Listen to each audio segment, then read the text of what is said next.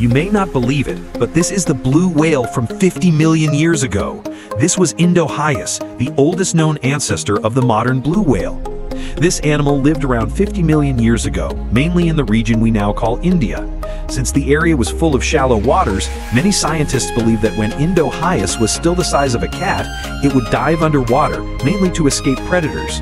But while hiding there, it discovered something else, plenty of food beneath the water's surface. Because Indohyus spent millions of years in aquatic environments, it was forced to evolve and adapt.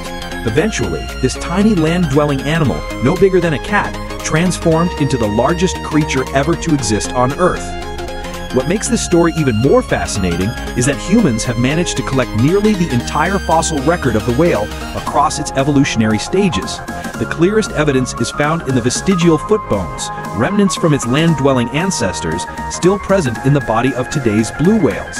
And who knows, maybe thanks to these ancient legs, one day whales could even return to live on land again.